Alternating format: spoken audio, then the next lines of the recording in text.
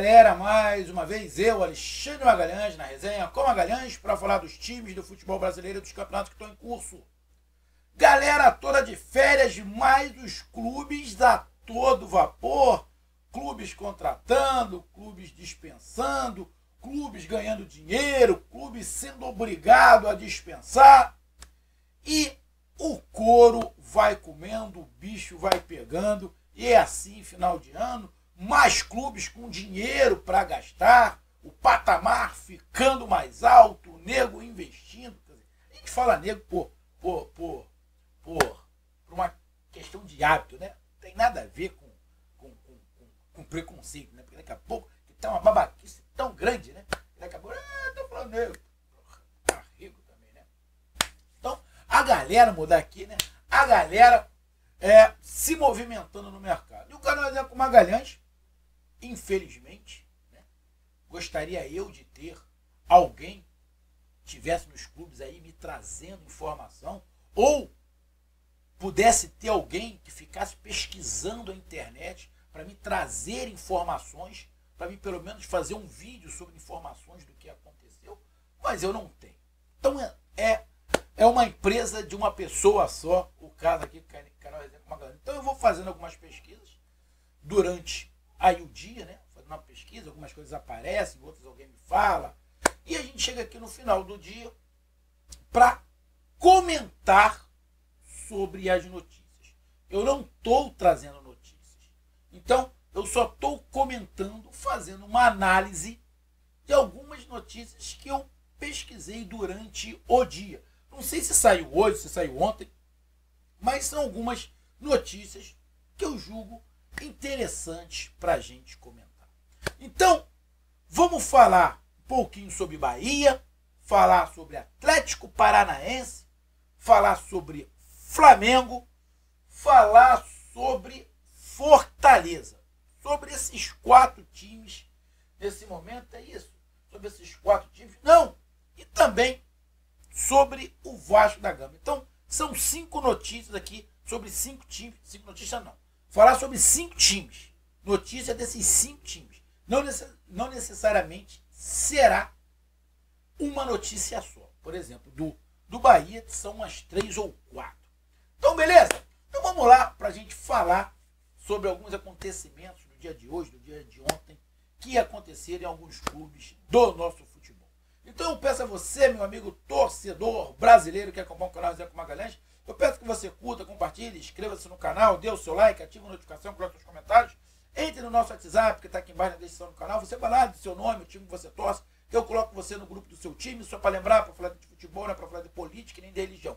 E se você quiser ajudar o canal a crescer, você pode dar através do Pix, que é o número do nosso WhatsApp. Você pode dar através do Superchat, quando estiver fazendo live. E você pode dar através do clube de membros do canal Resenha com Magalhães, aqui embaixo de azul. E agora você pode ajudar através do Valeu, que é esse coração com cifrão que está do lado, compartilhar. Beleza?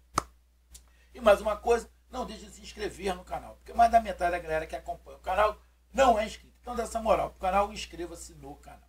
Toma meu golinho de café, copinho de geleia.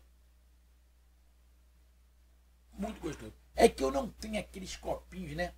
Que vende, que, que de botequim, né? De padaria, quando vai tomar o café, né? Aquele. Eu, eu vou comprar uns copinhos daquele que eu me amarro aqui, naqueles copinhos. Vamos lá, cara. Então vamos começar aqui coisa com Bahia. Né? Bom, primeira coisa. É, foi noticiado né, que a direção aí do, do Grupo City, né, Grupo City barra Bahia, é, está disponibilizando para 2024 320 milhões. Pô, legal, cara. Legal, legal. Aí sim, aí sim é querer investir na camisa do Bahia, no clube do Bahia, para pensar grande. Aí sim, aí eu acho legal. O Bahia merece. Agora, não adianta você investir um bilhão investir errado. Não adianta. Você tem que investir certo. Eu vi até um, um canal, agora não me lembro, eu não sei se é o Bara Bahia. Eu não me lembro qual foi o canal. Me, me, me perdoe, eu vi um monte de canal. Mas a notícia não é minha, é, é, é notícia de canais do, do Bahia, que ele até mostrou né, um vídeo antigo de um desses diretores do City dizendo que o, eles não iam contratar apenas para fazer o jogador render e depois mandar para a Europa, quer jogadores que vingassem, ficassem no Bahia, para o Bahia ser campeão. Legal. 320 milhões é uma quantia considerável, bem considerável, é, aonde você sabendo contratar com alguns jogadores que vão ficar, e aí essa é uma opinião minha. Tá? O Bahia já, já pensou, né? já, já foi noticiado que o Raul Gustavo, zagueiro, está indo embora, o Mugri está indo embora. Quem é o outro, cara? Tem um outro também, é o zagueiro, o Mugri, e tem mais um que está indo embora, deve sair mais jogadores, alguns jogadores que estão em final de contrato, alguns devem, devem permanecer, mas outros devem sair. Mas eu, particularmente, essa é minha opinião. Acho que o Bahia não precisava fazer desmanche. Mas desse elenco que foi montado em 2023, na, essa é a minha opinião. Desse elenco que foi montado em 2023, o Bahia tem que ficar com 30%. 70% tinha que ser, ser renovado. Essa é a minha opinião. E com esses 300, 320 milhões, contratar jogadores não para compor elenco, para disputar posição. 320 milhões dá para você contratar jogador para disputar posição. É, eu vejo Bahia nesse momento, no futuro, eu vou, eu até entendo. Mas hoje, o Bahia precisa se consolidar. Então o Bahia, na minha opinião, não tem que fazer muita aposta. Lógico, todo jogador é aposta, qualquer um. Tá? Pode dar certo como não pode. Mas você pegar jogadores, mesmo jogadores novos, mas já tem jogadores novos que já mostraram o que podem render. Agora você pegar jogador que você não sabe direito, aí é jogar dinheiro fora. A não ser que venha de graça. Mas mesmo assim, você vai estar tá pagando salário. Você vai estar tá pagando salário. E aí é complicado. É complicado. Então, é, esse é o primeiro ponto. 320 milhões. Legal. É isso que o Bahia merece. Legal. É isso que o Bahia merece. Mas não pode jogar dinheiro fora. Porque não adianta ter muito dinheiro e contratar errado. Para mim, a prioridade do Bahia é contratar para montar um time. Depois pode fazer aposta. Nesse início, não é para fazer aposta. Fez aposta, o Bahia quase que cai. Então, para 2024 não pode fazer aposta. Então essa foi a, foi a primeira. 320 milhões. Segunda notícia que eu escutei sobre o Bahia. Eu escutei em vários canais de que foi informado, apesar de toda a insistência, de toda é, é, é, é, é vontade do Palmeiras em ter o Cauli, a informação que saiu vinculada aí, os canais que cobrem o Bahia, é que foi informado que o Bahia não tem interesse de negociar o Cauli. Não tem interesse. Para o projeto que o Bahia tem, o Cauli é peça principal. E aí é outra opinião minha. Acertado se, se realmente é isso. Acertado. Lógico. O Grupo City Bahia comprou o Cauli por 13 milhões. Palmeiras pode chegar a 40 milhões. Ah, mas o Grupo City não precisa. Mas é tentador. Mas é tentador. Tu tá ganhando três vezes. Tá ganhando três vezes não. Duas vezes mais. Né? Mais 13, mais 13. Porra. É um lucro absurdo, levando em consideração que você comprou por quase 14 e está vendendo por 40. E não é um jogador de 22 anos. O Cauri vai fazer 28. Porém, o projeto do Bahia realmente é montar um time para ganhar, levando em consideração que o City tem dinheiro, 40 milhões é dinheiro, mas nesse momento eu acho que não é tão importante assim. Então, se realmente o Bahia não tem, falou isso mesmo, o diretor falou isso mesmo, que não tem interesse em vender o Cauli, é mais um acerto. Então, 320 milhões e não querer vender o Cauli. Eu bato palma para essas atitudes. Outra situação do Bahia. Foi noticiado pelo Nicola, Jorge Nicola, que a primeira contratação do Bahia me parece que é o Caio Vinícius, ex-jogador do Fluminense. É, que rodou aí, pá, coisa e tal, foi pro Goiás. Volante. Aí não, né? Quer montar um time forte vai contratar o Caio Vinícius? Você, torcedor do Bahia, sabe quem é o Caio Vinícius? Eu acompanhei o Caio Vinícius aqui é, no Fluminense. Pô, bicho. Eu já não gosto do Rezende. Porra. É muito mais fraco que o Rezende. Então, irmão, eu acho que não tem nem o que comentar. Caio Vinícius, é, essa é a minha opinião. Caio Vinícius é jogar o dinheiro fora. Minha opinião. É jogar o dinheiro fora. Ah, mas a gente vai pegar ele, vai botar ele para disputar o Campeonato Baiano e a Copa do Nordeste para ver se Vou repetir. Bahia não está em momento de aposta. Ah, o Bahia já vem há algum tempo querendo ele.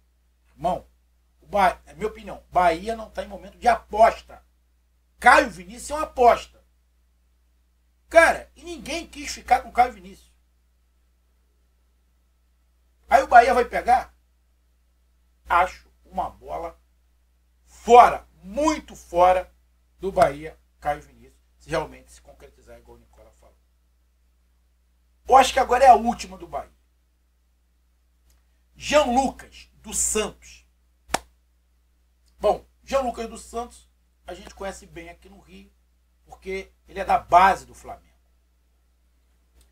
Muito bom jogador. É, a torcida aqui do Flamengo, quando ele saiu, ele foi emprestado, é, ele estava até entrando no time do Flamengo, mas como ele tinha acabado de subir, ele teve altos e baixos, mas era nítido que era um bom jogador. Foi para o Santos, fez um bom campeonato, foi para o Mônaco. Parece que lá não se adaptou muito, fez alguns jogos, pá, coisa e tal, e o Santos trouxe ele. 6 milhões de euros, se eu não estiver enganado. O Santos pagou 3 milhões e está faltando 3 milhões. O Santos não tem como pagar. Não tem como pagar. Então parece que o Bahia está sondando o Jean Lucas. Aí é investimento. O João Lucas é um garoto, ele é novo, muito bom de bola, muito bom de bola. O Jean Lucas num, num time encaixado, ele vai render. Pode até não ser titular, mas é um reserva que vai tentando sempre. Rogério Ceni vai saber trabalhar muito bem o Jean Lucas. É um jogador com a cara do Rogério Ceni. O Jean Lucas é um jogador com a cara do Rogério do Rogério Senna. Tenho certeza que ele vai gostar muito do Jean Lucas. Eu não me lembro se o Rogério teve o Jean Lucas lá quando ele teve no Flamengo. Sinceramente, eu não lembro. Mas ele é muito bom jogador. Mas qual é o problema? O problema não é pagar os 3 milhões de euros que faltam. Aí o City paga. O problema é todo que o salário do Jean Lucas é 800 mil. Acho que ninguém no Bahia ganhou 800 mil. Bom, 800 mil é um cara para chegar para jogar. E ele chega ali para jogar, para brigar por posição ali. É, ele é um meia atacante, ele não é um camisa 10, ele é um 8, tá? Muita força física, chega muito bem à área, alto, muito bom jogador. Minha opinião, aprovadíssimo. É, o problema é esse. O Bahia vai elevar o patamar dos salários, o Bahia já tem que dar um, um aumento salarial para o Cauli. Não dá para o Cauli ter sido destaque do Bahia em 2023 e ganhar menos que os outros. Então, o Bahia vai ter que aumentar o sarrafo. Mas será que vai aumentar o sarrafo a 800 mil de Jean Lucas? Será que é muito? Será que é pouco? Bom, aí quem tem que decidir é o Bahia. Tem que negociar é o Bahia. Agora, Jean Lucas é uma contratação para deixar o Bahia mais forte. Jean Lucas é a contratação para deixar o Bahia mais forte. Agora o Caio Vinícius não. O Caio Vinícius, um chute, um chute na madeira, uma canelada na porta. Mas o Jean Lucas não. É um grande jogador. Se o Bahia quer montar um time bom, irmão, não pode ter miséria. Vai ter que pagar salário mais caro. Não tem jeito. Teve até um amigo, um torcedor do Bahia, que falou assim: não, esse negócio de contratar jogador caro, deixa para Atlético Mineiro, Flamengo, Palmeiras. A gente consegue encontrar jogadores bons e baratos. Não consegue, não, irmão. Não existe campeão com jogador bom e barato. Porra! Esquece. Se quer ganhar, tem que pagar mais caro. Jean Lucas é um grande jogador. Não sei se agora o Grupo City vai elevar esse patamar de salário. Não sei. Talvez, talvez, fazendo o Cauli aumentar esse salário, que eu não sei quanto o Cauli ganha, mas chegando aproximadamente isso, o Jean Lucas é um cara que não é uma aposta. O Jean Lucas é novo, mas não é uma aposta. A gente já sabe o que o Jean Lucas rende. Então, se o Bahia firmar, o Jean Lucas é uma grande contratação. Não vou falar de Soteudo, que foi falado também, mas não vou falar de Soteudo agora. Soteudo eu falo no outro, no outro momento. Então, do Bahia, é isso. Vamos lá. O Bahia falou 320 milhões. Parece que o Vasco, a 777, parece que também vai investir mais ou menos a mesma coisa que o Bahia parece que está em torno também na casa de 300 milhões, o que o Vasco da Gama vai investir para 2024. Muito bom. A mesma coisa que eu falei do Bahia. Não adianta investir 300 milhões quando está errado. O Vasco da Gama, igual o Bahia, tem que dispensar 70% do time. Essa é a minha opinião. 70% do time do Vasco. Tá? 70% do time do Vasco. Então, é, boas compras ao Vasco da Gama com esses 300 milhões aí que vai ser colocado para 2024. Atlético Paranaense. Bom, o Atlético Paranaense é, teve confirmada aí a saída do Alexandre Matos. Alexandre Matos, que está indo para o Vasco da Gama. Na verdade, já foi até, parece ser anunciado, Alexandre Matos no Vasco da Gama. Esses 300 milhões vão estar na mão do Alexandre Matos. Magalhães, por que, eles são do Atlético Paranaense? Porque no Vasco ele vai, estar, vai ter 300 milhões na mão. E provavelmente no Atlético Paranaense não. A gente sabe como é que é o Petraga. A gente sabe, apesar de ser o centenário do Atlético Paranaense, mas o Atlético Paranaense não vai disputar Libertadores. Talvez se fosse disputar Libertadores, quem sabe? Mas não vai disputar Libertadores, vai disputar a Sul-Americana. Então, dificilmente o Atlético Paranaense vai ter esse aporte para investimento de 300 milhões. O Alexandre Matos gosta de dinheiro. Então, por isso ele não ficou no Atlético Paranaense e saiu para ir para o Vasco. Bom, o Atlético Paranaense perde alguma coisa? Não. Tá bom. Alexandre Matos foi no Atlético Paranaense. Na boa. Nada. Nada. Então, amigo torcedor do Furacão, vocês não perderam nada o Alexandre Matos saindo. Beleza? Vamos aqui pro Flamengo. Bom, surgiu aí, parece, a notícia. Notícia não. Já é fato. O Flamengo vai dispensar um jogador. Um goleiro. Né? E esse goleiro parece que é o Santos. Né? É, porque tem o Rossi, o garoto que era da base, que era titular, acabou. Ele deve ter um Santos. Santos já está acima de 30 anos e está procurando aí um time. O primeiro time que parece que apareceu foi o Grêmio, interessado no Santos. Só que o Grêmio não tem cacife para, pegar o Santos. E outro time que apareceu é o Botafogo, aqui do Rio de Janeiro.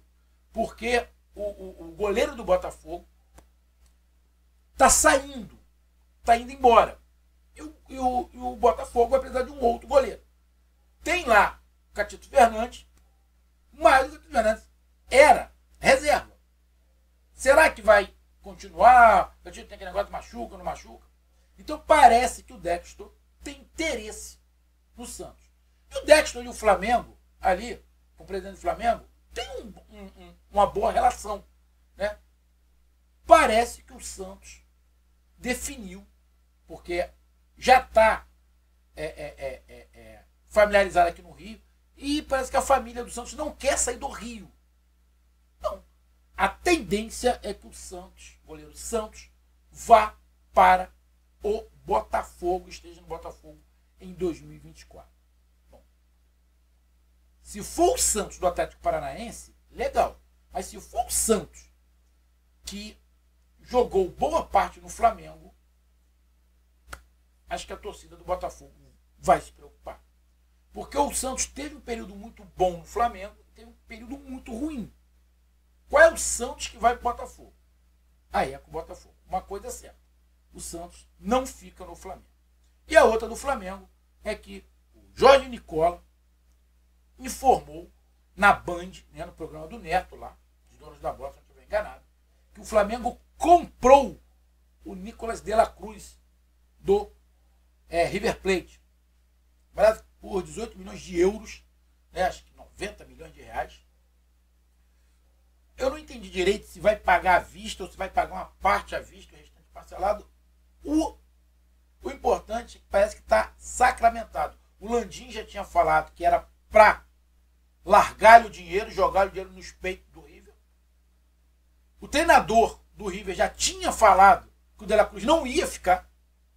E parece que foi sacramentado, o Flamengo sacramentou a compra do De La Cruz. É um puta de um jogador, irmão. Ele é titular da seleção uruguaia e o Arrascaeta é reserva dele. Irmão, joga muita bola. E ele diferentemente do Arrascaeta, ele pode jogar atacando, mas ele sabe defender. Então, irmão, ele chega no Flamengo para ser titular. Quem vai sair, não tem a menor ideia. Mas que ele chega e vai ser titular. Bom, isso aí é fato.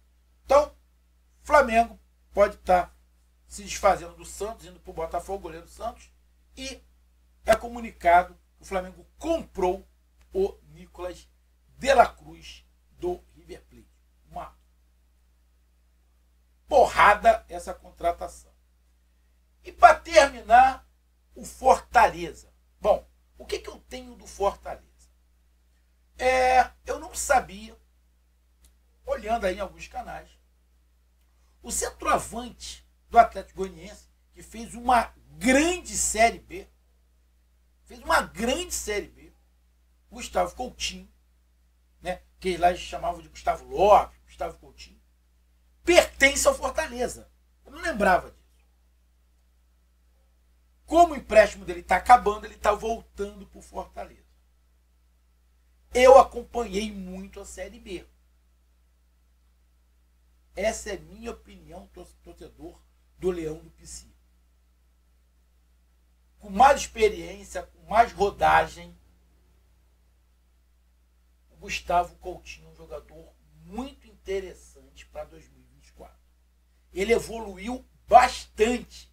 Ele evoluiu bastante. E ele foi melhor do que alguns que estão lá no Fortaleza. Então, como parece que um dos atacantes, um dos centroavantes que o Fortaleza tem, parece que não vai ficar, acho que seria de bom tom dá uma olhada com carinho, né? Isso se o Coutinho não for vendido, né? Porque parece que tem propósitos aí para ele, para ele ir para fora do país.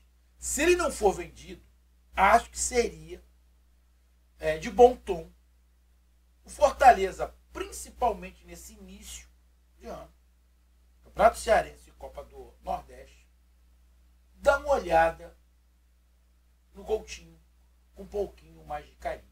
Porque ele jogou muita bola na Série B. Se o Atlético subiu, muito se deve a ele. Ele fez uma grande Série B.